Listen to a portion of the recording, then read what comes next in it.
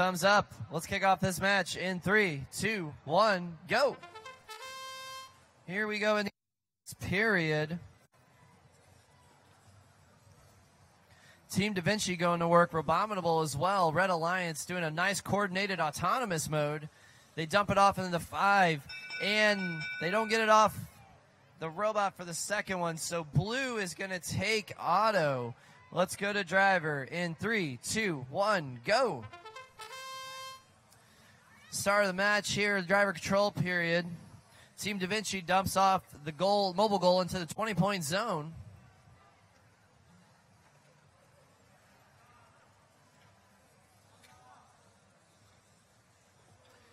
BlitzBotz starting to go to work. They got four cones stacked on their mobile goal for blue, a fifth one placed.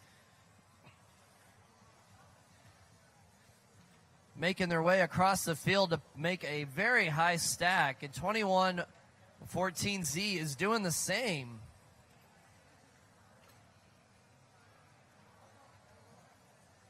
Robominable going to work now as well. They got five stacked high on that road mobile goal. Most of the cones have been cleared from the center of the field. It's only the edge ones that are still remaining.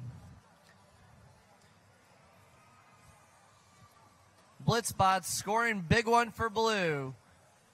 But red coming in as well. Team Da Vinci, they drop one off as well for red.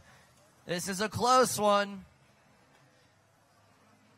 Blue's got a big stack. Red also has a big stack. Making their way over with 30 seconds to score it is the blue robot. PHS Robotics. Oh no, the stack goes down. All those points are lost except for the goal and the one cone. 15 seconds remaining. This may be Red's chance to drop it, and they do in the five point zone. 10 seconds. One more goal to score for each alliance. They are making their ways. Blue drops one in. Red gets defended, and they got it in still, though. Nice job.